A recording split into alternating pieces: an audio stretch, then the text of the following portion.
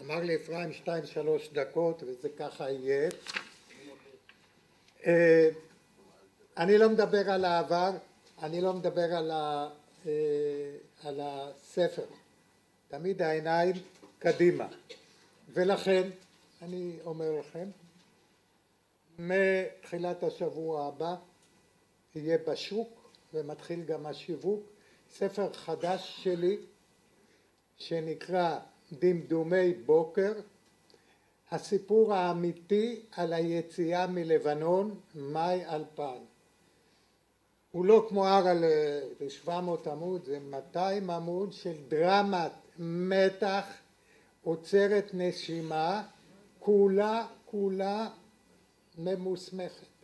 נאן פיקשן לחלוטין ואני מאוד מאוד מקווה להעביר אותה אליכם גם לפרס צ'צ'יק ותודה רבה לכם